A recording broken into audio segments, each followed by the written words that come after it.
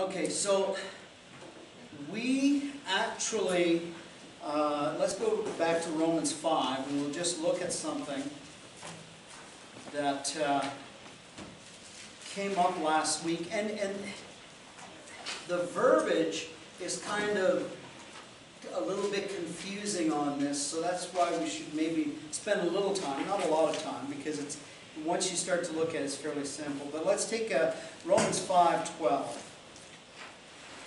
Romans 5:12. Wherefore, as by one man sin entered into the world, and death by sin, and so death passed upon all men, for that all have sinned.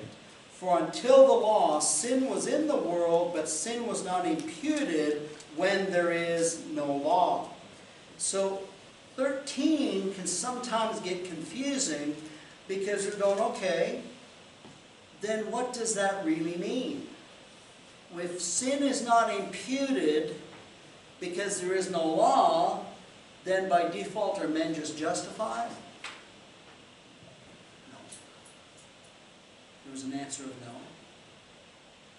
Can anyone expound on that?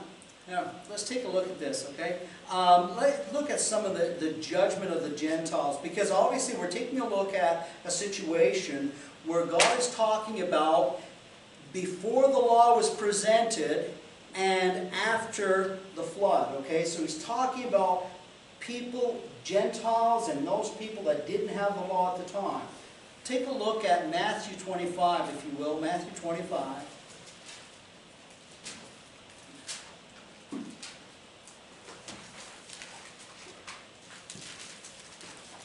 Go down to verse 31 talking about end times here. When the Lord is going to judge the Gentiles. So verse 31. When the Son of Man shall come in glory in his glory, and in the whole and all the holy angels with him, then shall he sit upon the throne of his glory, and before him shall be gathered all nations, and he shall separate them one from another, as the shepherd divideth his sheep from the goats. And he shall set the sheep on his right hand, but the goats on his left. Then shall the king say unto them on his right hand, Come, ye blessed of my Father, inherit the kingdom prepared for you from the foundation of the world. For when I was hungered, and ye gave me meat, I was thirsty, and when ye gave me drink, I was, for you gave me meat, and I was thirsty, and you gave me drink. I was a stranger, and you took me in. Naked, and you clothed me. I was sick, and you visited me. I was in prison, and you came unto me. Then shall the righteous answer him, saying, Lord, when saw we, saw we thee and hungered, and fed thee, or thirsty, and gave thee to drink? When saw we thee a stranger, and took thee in? Or naked and clothed thee? Or when saw we thee sick in prison and came unto thee? And the king shall answer and say unto them, Verily I say unto you, inasmuch as ye have done it to one of the least of my brethren, ye have done it unto me. Um, then shall he say unto those that are on the left, Depart from me, ye cursed, into everlasting fire, prepare for the devil and his angels what we see is the judgment of the Gentiles here, and the judgment is based on their works. Remember that was one of the judgments? One of the ways that their people are going to be judged? Take a look at Romans chapter 2, verse 11, and it becomes even clearer.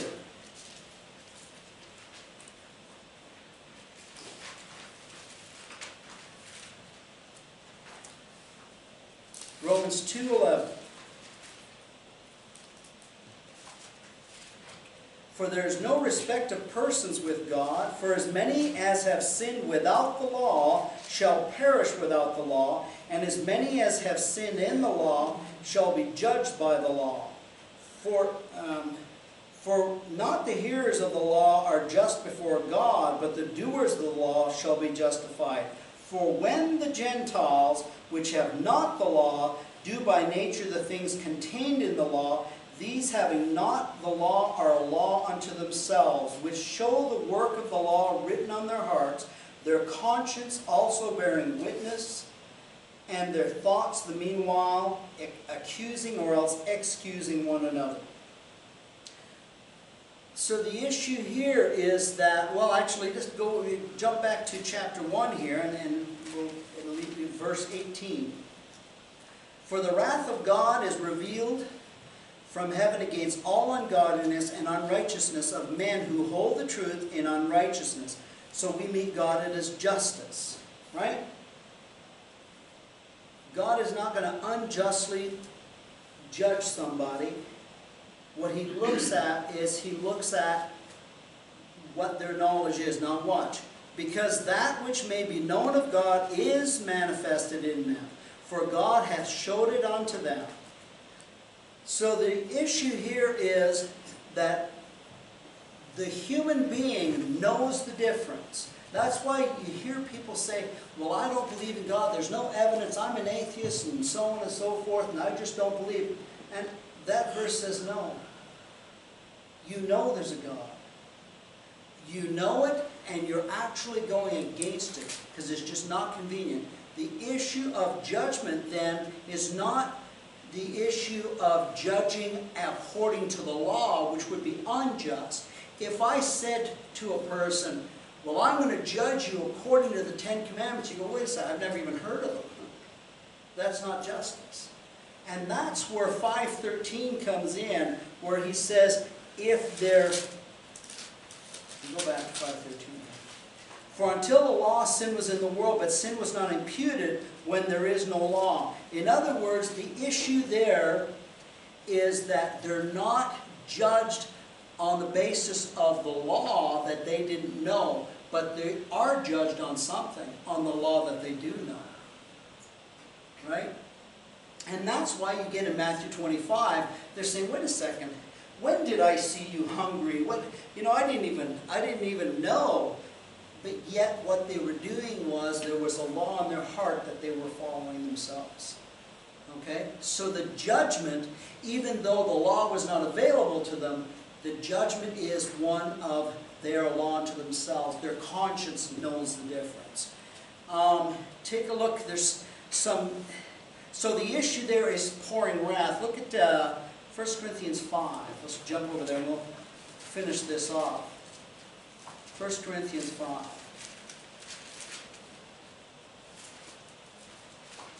Verse 19. Some similar terminology here. Why am I saying 19 and there's no 19? Is that 2 Corinthians 5? Let me just see here. I, I may have typed it out wrong.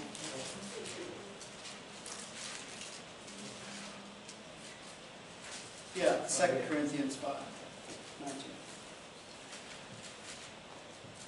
To wit, that God was in Christ, reconciling the world unto himself, not imputing their trespasses unto them.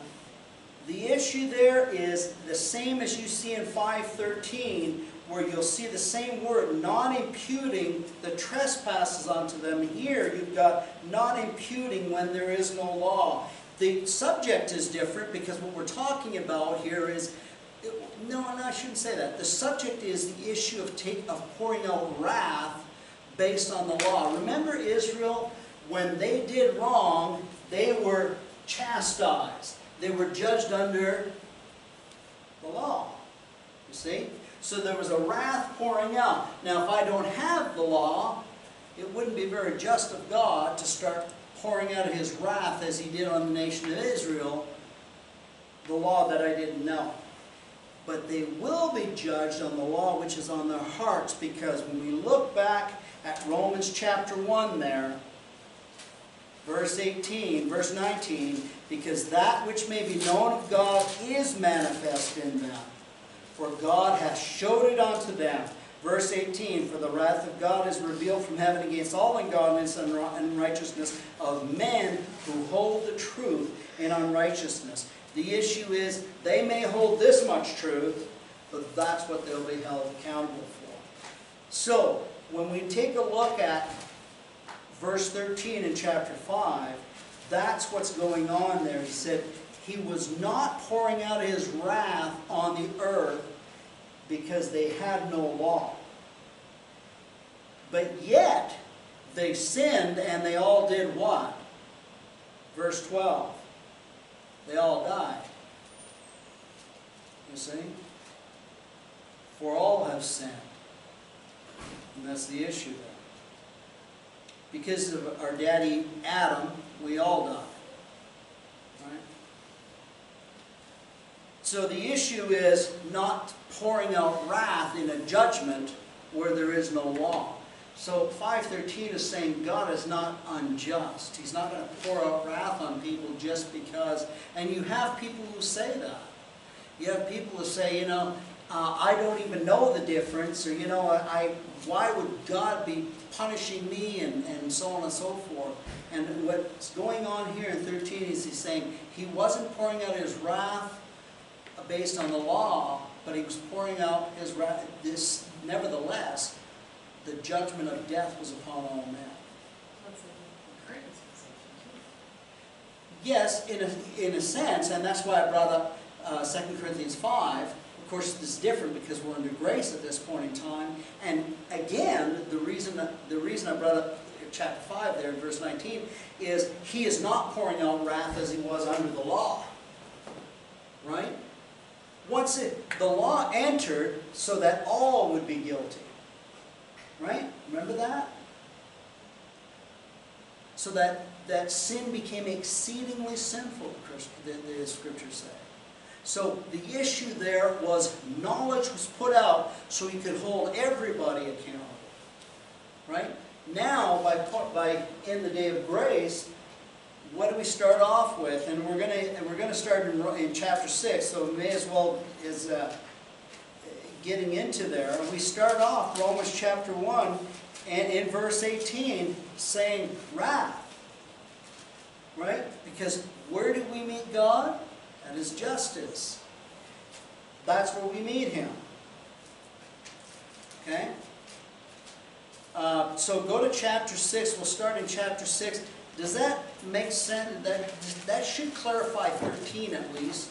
That it wasn't the issue of, well, did they somehow, were they somehow not guilty? They were guilty of the amount of information they had. Okay? So that's where the judgment is.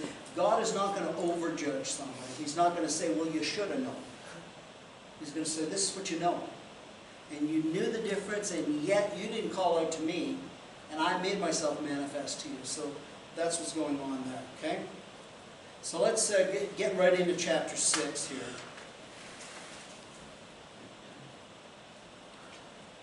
So we now move in chapter 6, verse 1. We now move from the issue, the issue of justification, what we did is in chapters 1 through to uh, 320, there was the judgment of man. All men have sin and all men are unworthy. So you have the, accus the accusation where everybody's put on the same level. He takes the religious, he takes the non-religious, he takes the whole group and says, listen, you're all the same. Right? Remember, he famously says, There is none righteous, no, not one. Uh, in, uh, in verse 11 of chapter 3, there's none that understandeth, there's none that seeketh good. And then he goes down, their throat is an open sepulchre, their tongues are, they use deceit, the poison of asps under the... So he just really hits hard the issue that there is nobody righteous except for Christ. Then he goes through, and in chapters 3 to 5, we talk about justification. And we just went through chapter 5, we had justification and all the benefits. That was a fantastic chapter. All the benefits that are given because you're justified. Not because you did anything, but because of everything that he's done. Right? There's two sides to that story. That takes the onus off of me. I didn't earn anything. He did it all on the cross. Then I went through chapter 5, verse 1 through to 11, and it says, because you're justified, you have this and this and this, and he just goes down through those things, and now I'm left again without an excuse. But I'm left with all of the power that is given through justification. Now, we leave the issue of justification, and we now have met God's justice requirements because of Christ. We have met them, and it, and there's nothing, we have to add nothing to it. Okay?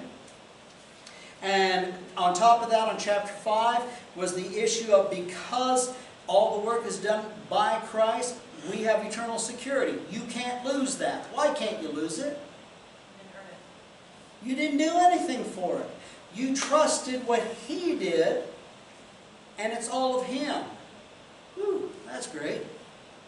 Because I don't have to now, you know, how many people say, oh, well, yeah, you're saved, but you better do this, and you better, you better go up and do this little ritual, and you better watch what you're doing, because you know what? God's only got so much patience with you. But chapter 5 goes through and says, no, no, no.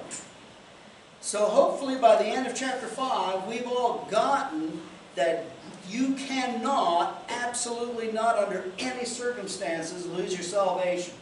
Does everybody get that?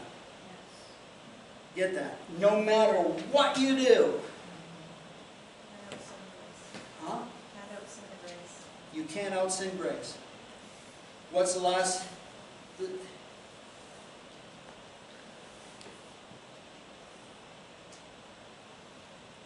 What, so the conclusion after chapter 5, in verse 1 of chapter 6, take a look chapter 6, verse 1.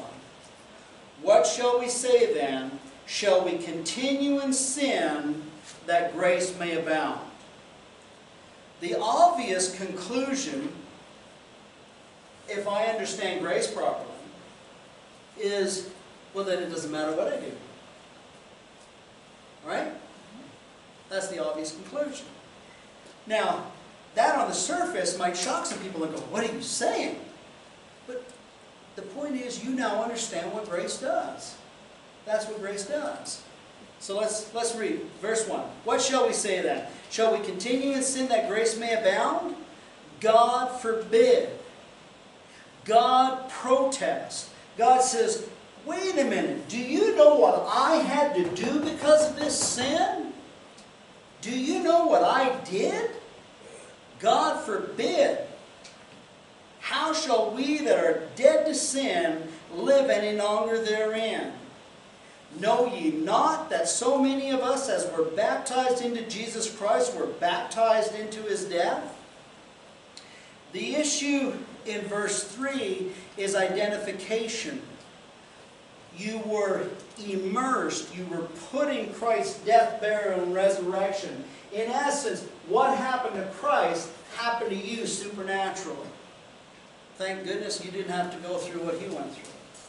But supernaturally, that's what happens there, okay?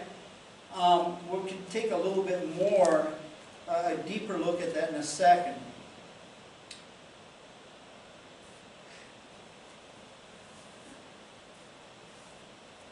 The issue with that justification, that I just want to jump back for a second here, is that justification is that the, the issue of the wrath has stopped. There are still people who believe and who think, well, maybe I've done something wrong. Maybe, maybe my actions in life, maybe this is why things are going bad for me. Maybe, you know, they're always looking at that, maybe I displeased God. If you've ever had that thought, you understand after going through chapter 5 here, that's impossible. Why? I'm 100% freely, what? Justified. Right? I'm saved by faith, as chapter 4 says. I'm saved by faith plus what? Nothing. we have to get that before we can get into the sanctification process. I think everybody's got it by now. But what happens is that the justification by grace through faith amplifies that cross work of Christ. It gives us that position in heavenly places. Remember in Ephesians, He has given, He has blessed us with all blessings in heavenly places. It gives us that position in Christ. When? Out here? No. The moment that you're saved. That takes all our excuses away too.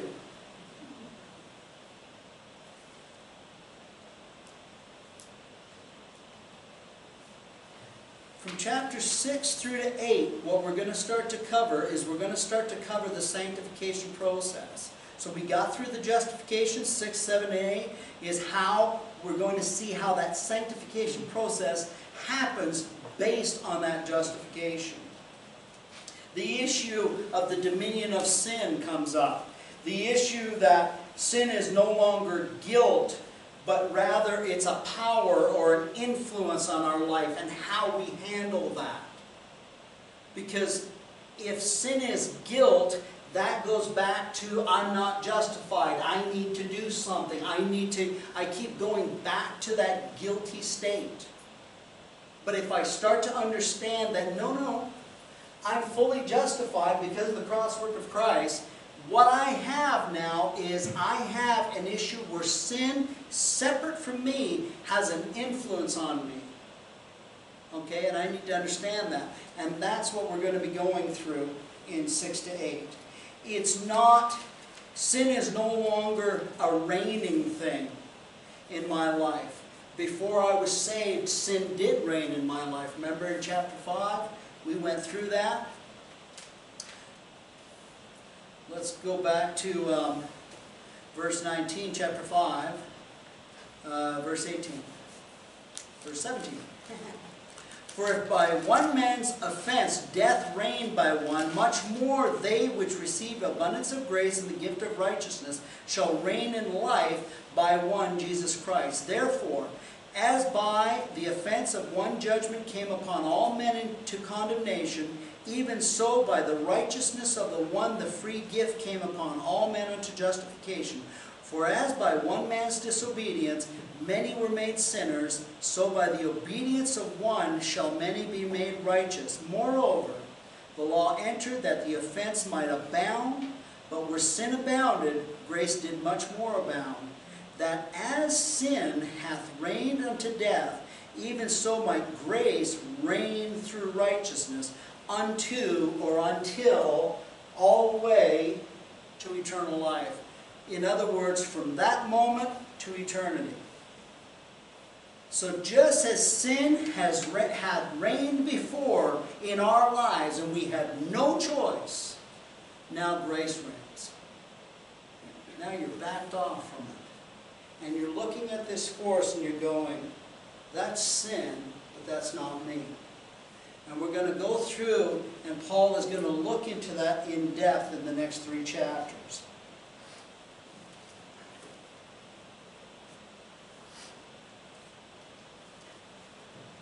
So now what we need to do is, understanding the justification, we have to understand that we have a new way to live now. It's completely different. And this the world just completely misses. They, you can't even talk to them about this. They just completely misunderstand this. Now the issue is not guilt, shame, and so on and so forth, but the issue now is your daily walk. You're not walking after the flesh. You're not walking based on your memory of this is what I used to do. This is my memory.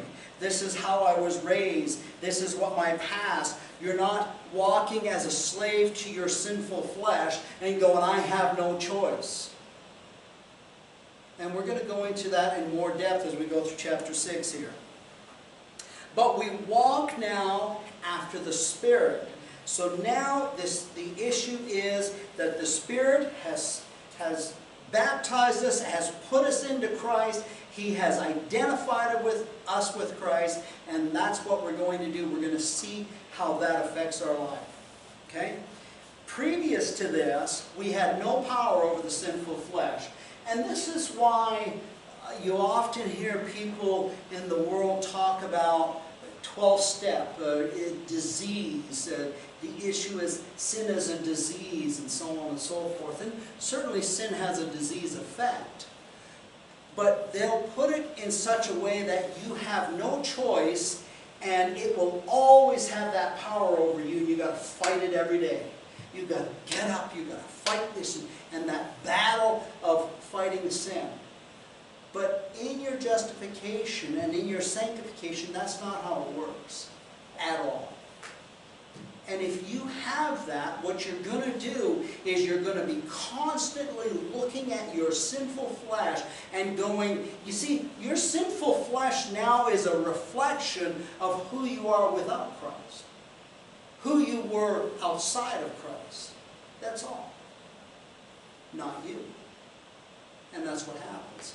You're now separated from that, and it is now a power and a force, but it's not you anymore. It is not reigning in your life because you're now under grace, and that's what is now reigning. And we're going to go through that. Your position in Christ now affects your daily walk, how you look at yourself, what you do in your daily life. And, what's important there is that you understand that there's so many people say, well, you know, yeah, but when I get to heaven and I get a new body, then, then I'll be free from sin.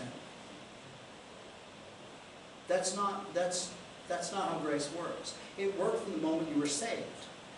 But if you don't understand that premise, you're going to believe that. Okay? Why? Because that's the way it used to be. But it's now different.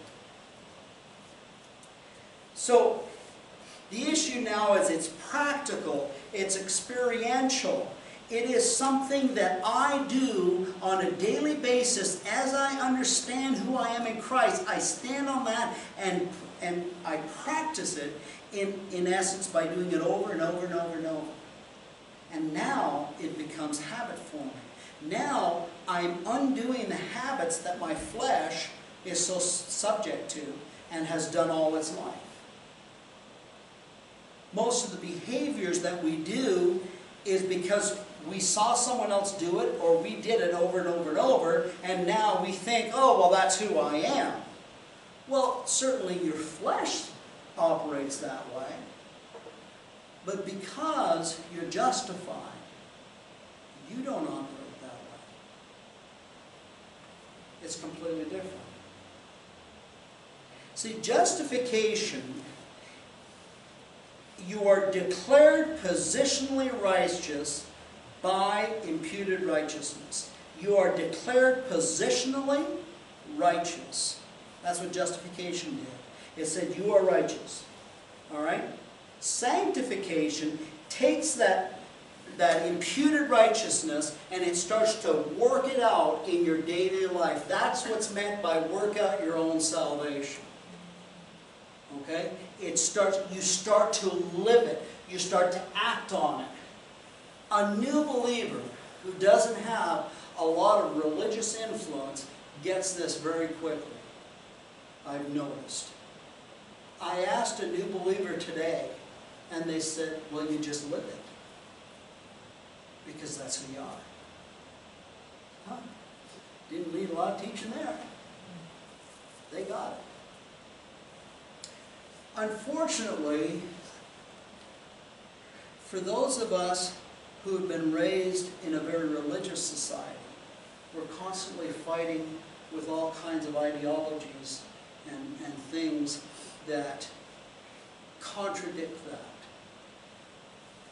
And I find most believers who fall for this, it's because they weren't, they don't have this word working in them. They've gone to this church and that church and this church, and they've had all these application messages about, you better get to the altar, and you better confess your sin, and you better do this, and you better not do this. Did I hear this? And, you know, Sister so-and-so told me this about you, you know, and, and on and on, and you just, I don't know where to put myself half the time.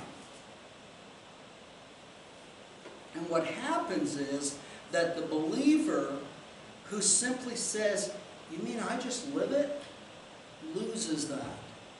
And they lose it to a whole bunch of religious ideology and shame. And they get put back under the performance system of the law. And that's what the law was, right? Why, why was the law given? What did it say in chapter 5?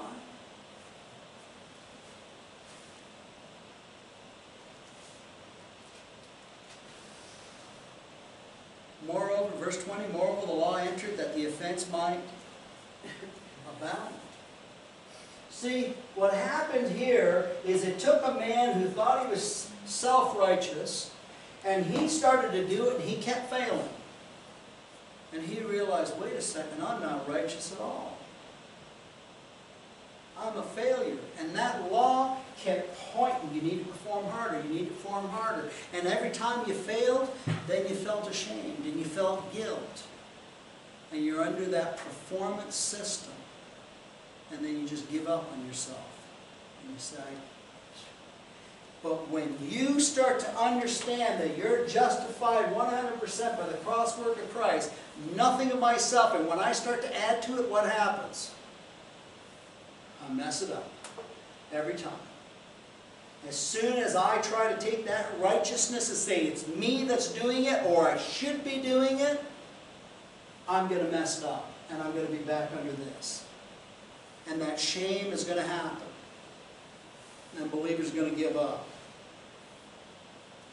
Because of that justification, you're fully equipped for that righteousness being reflected in your daily life. You're fully equipped. You have, you have uh, pastors, teachers, the assembly, the Word of God, the renew. You have everything you need to operate that way. You have fully equipped. Okay? See, grace, what grace does is it stabilizes your life under any circumstance. But your flesh doesn't, does it? What's your flesh do?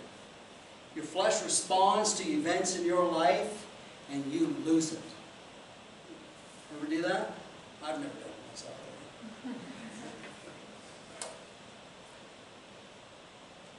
Chapter 6, you're dead to sin.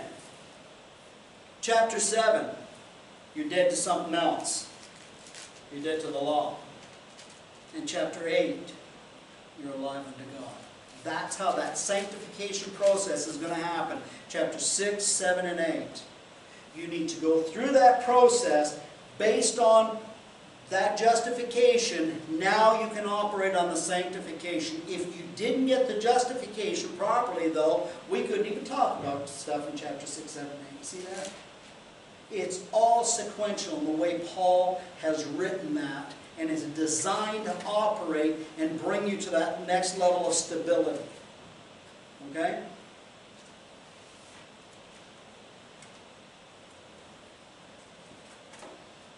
Six one says, What shall we say then? Shall we continue in sin that grace may abound? Hold your hand there and compare that to chapter 3 8, and you're going to see something. Go to chapter 3 verse 8. If you understand and teach grace properly, you're going to be accused of something. Look at verse 8. And not rather as we slanderously be reported, and as some affirm that we say, let us do evil, that good may come. Verse 1, chapter 6. What shall we say then? Shall we continue in sin that grace may abound? Verse 2, God forbid. God protests. God hates sin. Never will he tolerate it, and nor should you in your life. And you have no reason to because you're saved and justified by the cross work of Christ and you've been given everything. You just need to start walking in it. You just need to start living. See?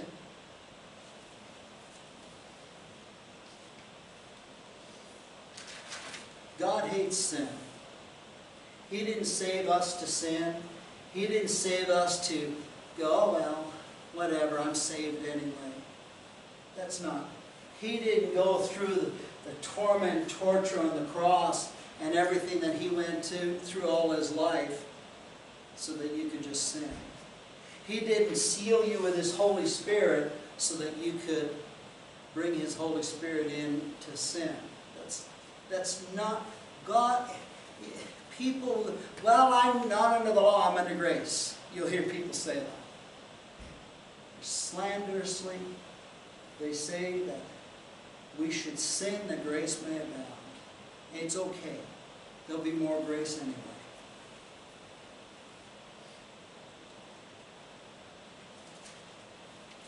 You also don't need to quit sinning to be saved, or confess your sin, or go to Mass, uh, or do any of those things.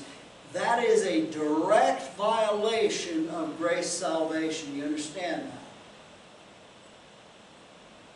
When you start putting works in and saying, I've got to be sorry for my sin, what's happening is you're taking it back. You're saying, I'm unjustified. I'm under the power of this thing, sin. I can't help myself. I've got to confess it. There's a whole religion of uh, Scientology. It's all based on make yourself feel good by confession. There's a lot of religions that will actually do that. I mean, of course, you have Catholicism doing the same thing. What's the point of that? That takes you out of the cross work of Christ and starts to put the onus back on me. That's what it does. So am I justified anymore? Nope. At that moment I lost it. I don't believe it. Now I'm not saying you're literally unjustified. What I'm saying is, that's how you view yourself, not as a justified being. Okay? If that weren't so, then why would Paul say, what shall we say then? Shall we continue in sin that grace may abound? That's the whole point of why Paul says it. He says, did you get what I said? You're justified fully by grace. There's nothing you can do to lose it. It's party time.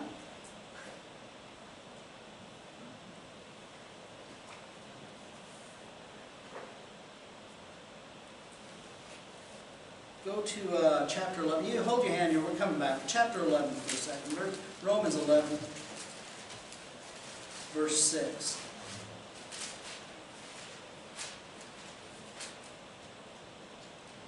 And if by grace, that it is no more of works, otherwise grace is no more works. For if, if it be by, by works, then it is no more grace, otherwise works is no more work. Paul separates the difference completely. Understand one thing here, folks. He's making this separation because back here it was a works-oriented system. It was, you, you sinned, you had to do what? Come up with a proper sacrifice. Better go to the priest. He'll tell you what to do. And you better do it.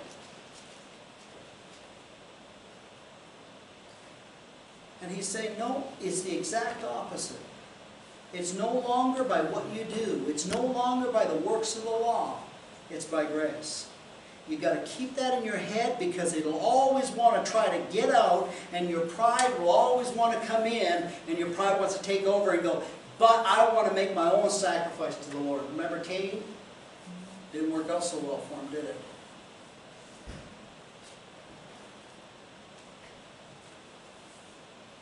There are two popular attitudes towards sin. Two of them. First one could be called sinful subjection. And that is basically saying, well, I got to sin a little bit, I can't help it. I'm human. All right? You get some religious folks to do that. Well, you can't help it. Just come to the altar and you confess that sin. You can't help yourself. That's, that's what we call fatalism. And it's fatalism to your justification. That's what it is. Look at uh, 1 Corinthians 10. 1 Corinthians 10. Hopefully I got the first and second right, right this time. 1 Corinthians 10, verse 13.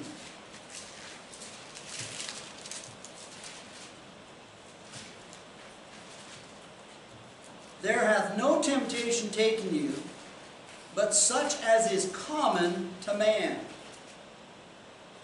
That's interesting because I've heard a lot of Christians say, but you don't understand. I'm under, I'm like Job, man. I'm under so much pressure. I can't, I, you, I'm a believer.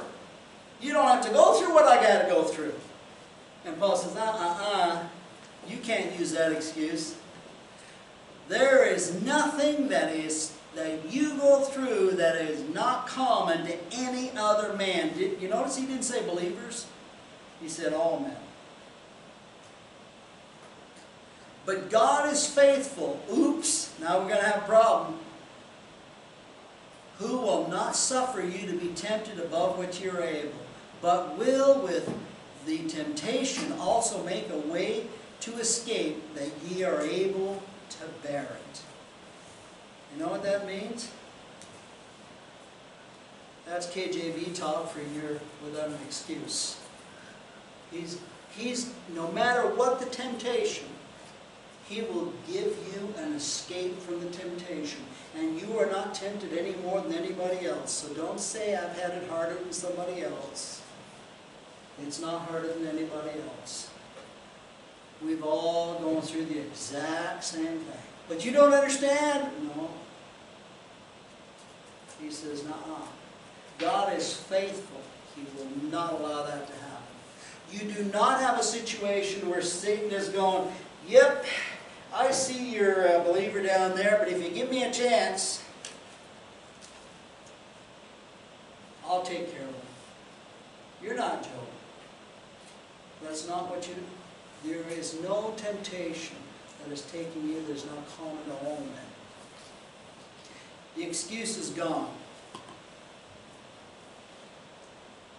You will never get to the judgment seat of Christ and say, but I just had to commit that sin.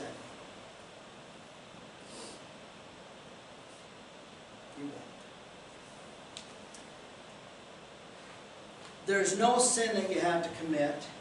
You have all the resources. You have the Word. You have teachers. You have pastors. You have the assembly. You have godly friends. You know who they are. You have everything.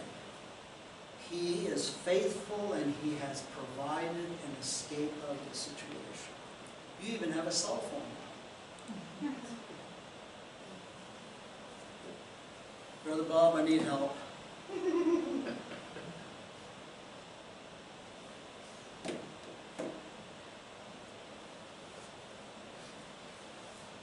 See, the old saying is, the problem is not with God, then it must be with you. Then no doubt the problem is with me.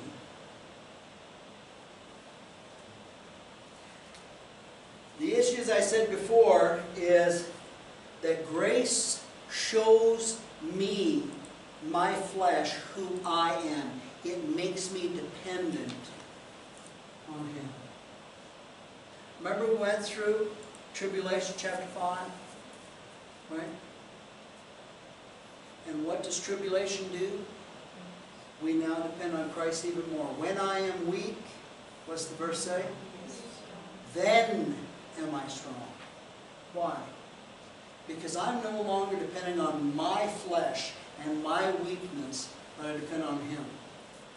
And the more I'm doing that every day and I'm realizing I'm living that out, I am working out my own salvation. That's what that means.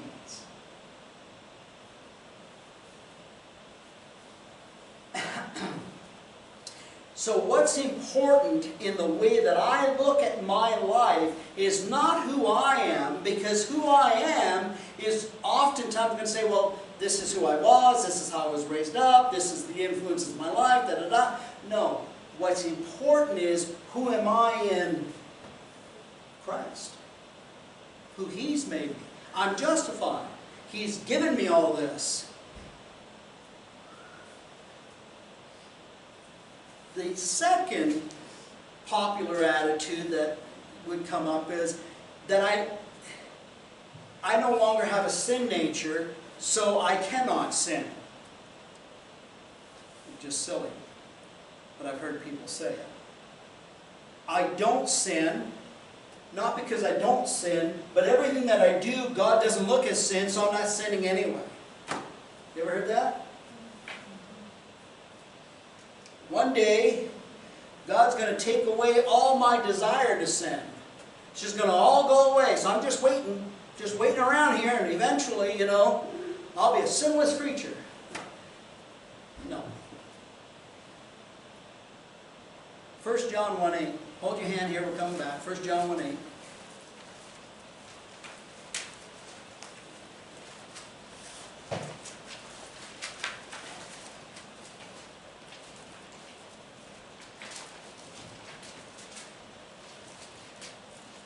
If we say that we have no sin, we deceive ourselves, and the truth is not in us. Verse 10 If we say that we have not sinned, then we make him a liar, and his word is not in us. Sin is in our flesh, it's there. You have everything that you need to not sin. You're not being tempted past your ability to resist it and do something else. So denying that you're doing wrong is not, is not the other option. Denying that you don't have a flesh that has a sin nature is also ridiculous because it's going to be there. But is that you? That's the question. Is that you? What's the answer? No. It's not me. But I do have a flesh. It does desire it. Do I have the power over that? Yes.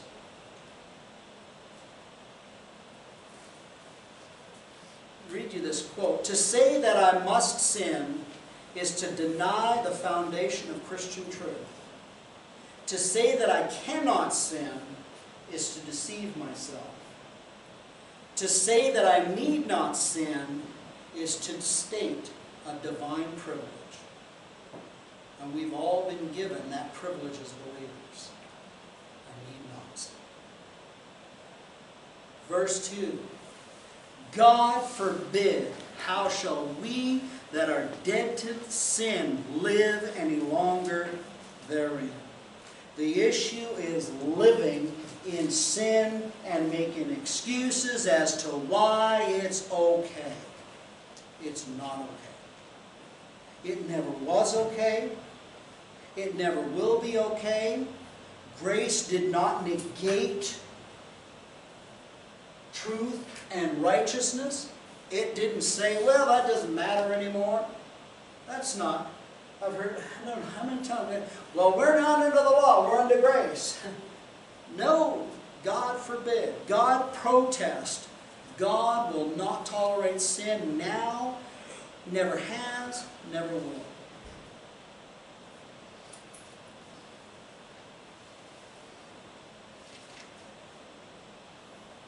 Romans, uh, let's go to uh, verse 3. Know ye not that so many of us as were baptized into Jesus Christ were baptized into his death? No, notice that no there. Go up to verse 9.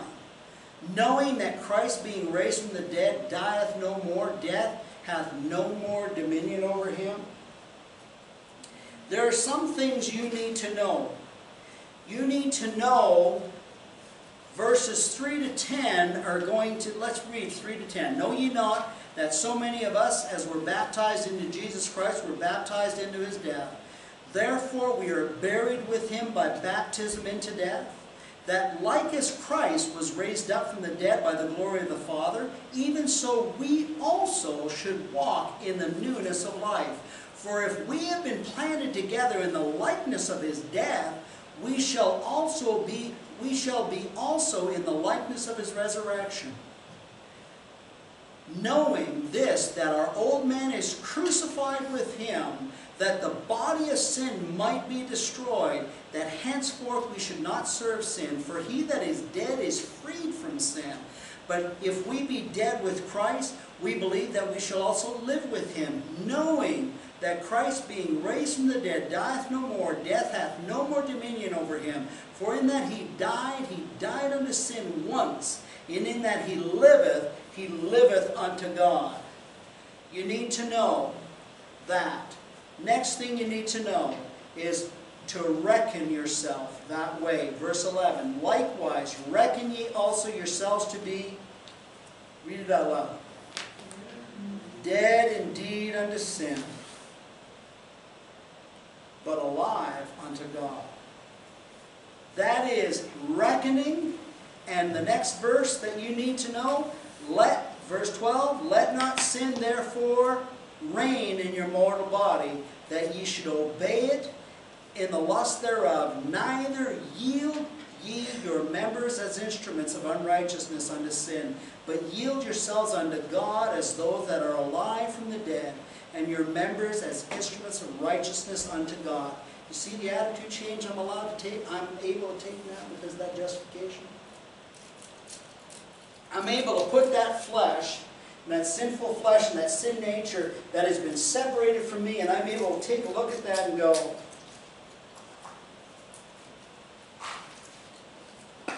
Verse 6, knowing this, that our old man is crucified with him, that the body of sin might be destroyed, that henceforth we should not serve sin. That the body of sin might be destroyed. That is the, the ability that salvation and justification in Christ gave me. It gave me that ability to take that flesh, put it out there, and go, but that's not me, and I will not give in to it. God forbid. I'm dead to that. But I'm alive in Christ. You cannot dig a hole, you cannot create a hole in nature without filling it with something. Even if you dig it, air comes in, takes its place. It, something has always got to go there. And if you've got a sin nature, you say, no, what you have to do is, I'm dead to that, but I'm alive to something else. Otherwise, you're going to be a slave to your flesh. Okay? You weren't able to do that before you were justified. You couldn't do that. You could say that. But you couldn't do that.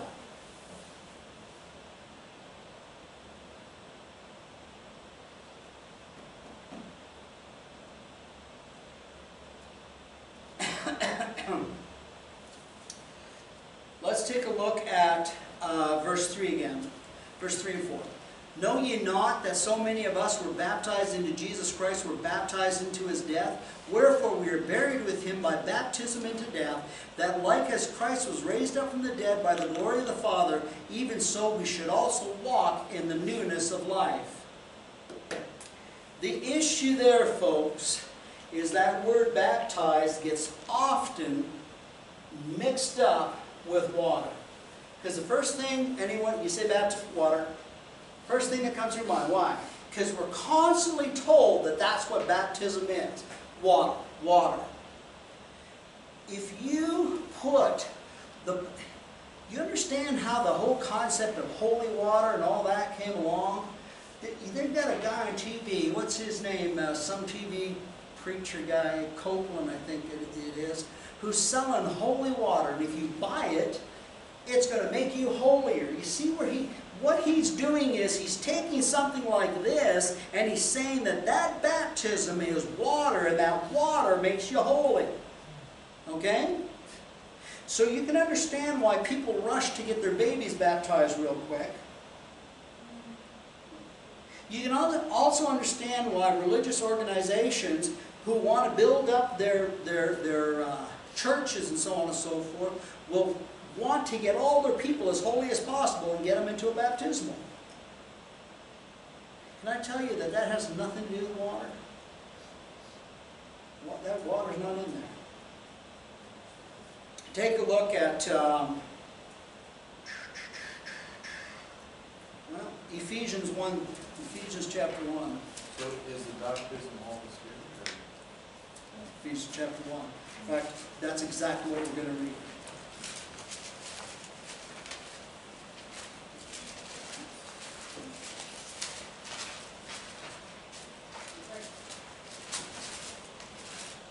Before you go there, jump over, hold your finger there, we're going back. Chapter 4. Verse 4. There is one body, one spirit, even as ye are called to Sorry, let everybody get there. Chapter 4, verse 4. There is one body, one spirit, even as ye are called in one hope of your calling, one Lord, one faith, one baptism. One God and Father of all, who is above all and through all and in you all. There is only one baptism. Why do most churches have two? Go back to chapter 1, verse 13 in whom ye also trusted after that. Sorry, let everybody get there. I'm starting to rush. In whom ye also trusted after that ye heard the word of truth, the gospel of your salvation, in whom also after that ye believed you were sealed with that Holy Spirit of promise. That baptism is baptism of the Holy Spirit. That is what seals you. Okay? not water. Water can't do that. However, how many songs, I used to hear, I would hear songs all the time about, uh, they baptized Jesse Taylor in Cedar Creek last Sunday. You know that one? Yeah? No, I won't sing it. It'll start to run through my head after, and then I'll get a song you don't. They baptized Jesse Taylor Cedar Creek last Sunday. The words go, and, and, and Jesus gained a soul, and Satan lost a good right arm. Wow, that's pretty good power on water right? You have, uh, the other one is uh, pray for the fish. Everyone ever heard that, Randy Travis? The guy goes to get baptized, gets baptized in water, and he said all the sin started coming out, and the water started bubbling, and the fish were dying. Pray for the fish. Now that gets kind of funny and silly, but understand where that thinking is coming from. That somehow that the priest or the preacher, by putting you in water, somehow supernaturally seals you and, and turns you into a holy person. You see how against uh, how that water would become so fantastically important and how all of a sudden the baptism of the Holy Spirit means what? There's only one baptism. So either water has that power, and that's the baptism you need, or it's the Holy Spirit.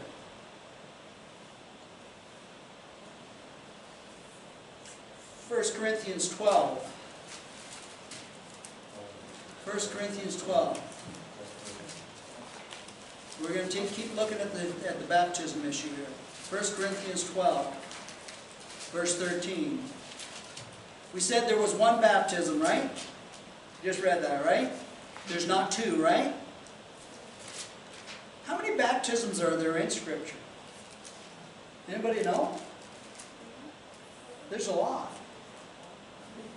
Be like, uh, I've heard anywhere from 7 to 12, depending on, on what people look at. But there's more than just one. Okay? Take a look at verse 13. For by one Spirit we are all, read that out loud. Baptized. Oh, baptized what? Into one body. Was that water there? Spirit.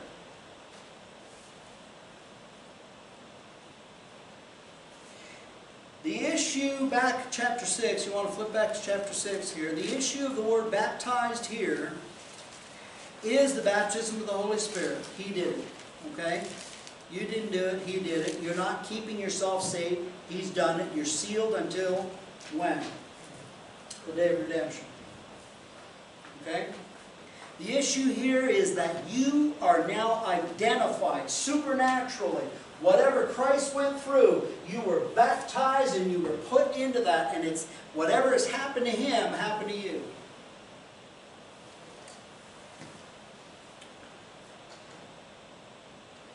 So that, that issue there, baptized, is could best be described as, as a living union, a, a, an immersion into Christ. You don't do that with water, it's done with Spirit. Okay? Galatians chapter 3. We're going to finish off pretty quick here. Galatians chapter 3.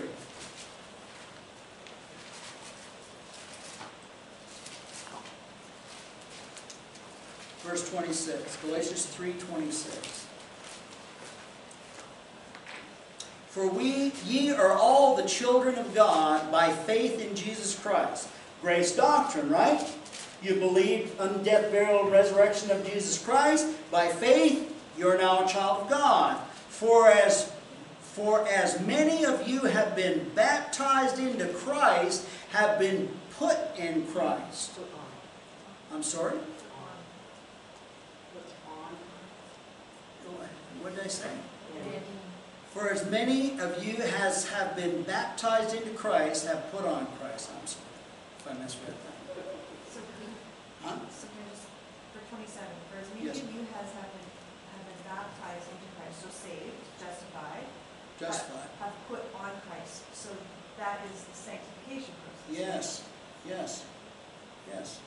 You see how that links back to verse 3 and 4 here in chapter 6? See, how, see that link?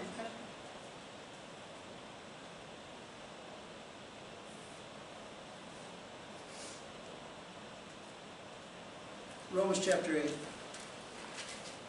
Chapter 8, verse 9.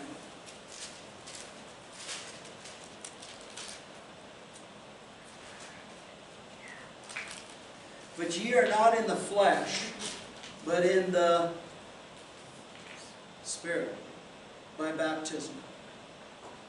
That's how you got there. Can you see? Romans chapter 8, verse 9. But ye are not in the flesh, but in the Spirit. How did you get in the Spirit? How did you get in there? We just read it. You were baptized in the Spirit. That's how you got in. You couldn't buy your way in, right? You couldn't walk in. Now you have the Spirit of God. You're sealed in Him. Now you have the ability that God can speak to you in the spirit of your mind and he, Christ can live out through you. You see how that spirit happens? Before you had that spirit, that you couldn't do that. The world listens to this stuff and they go, You're nuts. Why? Because they don't have the Spirit of God. Verse 9. But ye are not in the flesh, but in the Spirit. If so be that the Spirit of God dwell in you. Now, if any man have not the Spirit of Christ, what? There's no grace. It doesn't work with the world. You can't take this and have it operate in a non-believer. You cannot expect a non-believer to have power over the sin in his life. Why? You see? That- This is a common error in society. We got to change the sin in society. We got to have policies and politics, and we got to do this and, and get the Ten Commandments back in school. You couldn't keep the Ten Commandments to begin with. You never could. What's that going to do? The point is, you're not here to change the way the world functions. You're here to change, to bring that gospel in, to work in that per, in that person's life, to bring him to salvation.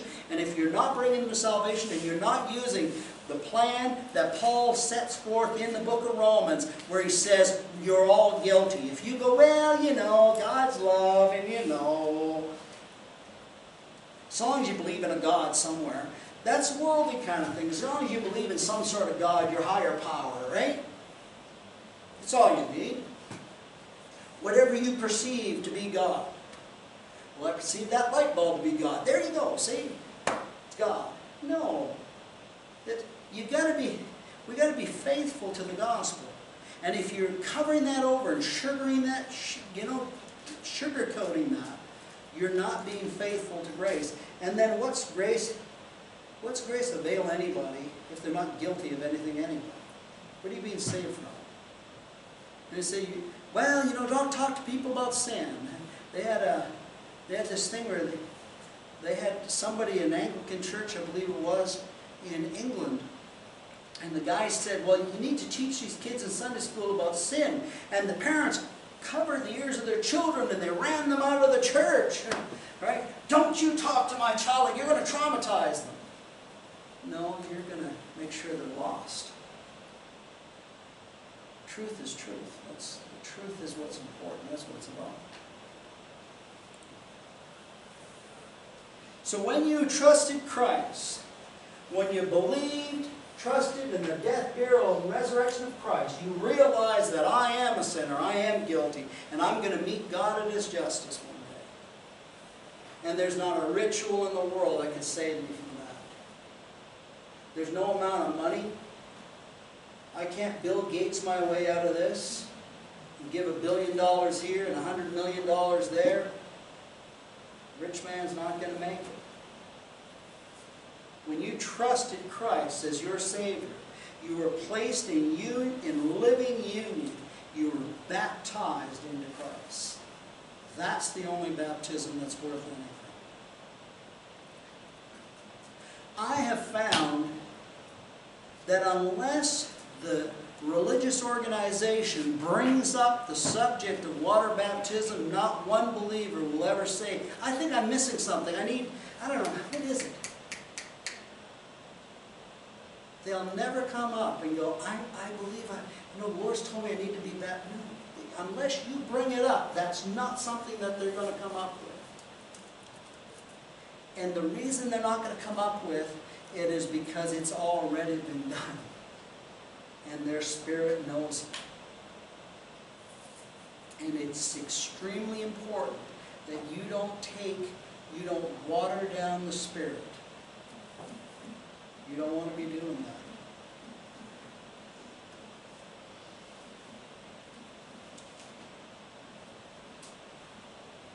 Romans 6 6. Knowing this, that our old man is crucified with him, that the body of sin might be destroyed, that henceforth we should not serve sin. We want to reflect on that for the rest, Uh, until the next Bible study. Just reflect on that. My flesh is dead to sin. I don't need to sin. I never did. What I need to do is to realize who I am in Christ, that I'm a justified being. Sin should have no part in your life. Zero. It should be totally absent, absent because God has no tolerance for it. That's why He died on the cross. Zero tolerance. As a believer, and if you're not a believer, and if somehow you've been listening to all this stuff and you've never made a decision for Christ to this moment, all you got to do, you don't need to come up, you don't need to cry, you don't need to weep and wail, you don't need to give money. What you need to do is say, I trust your death, burial, and resurrection, Lord. You do that right where you're sitting. You don't have to close your eyes. You don't even have to pray. God hears you where you sit.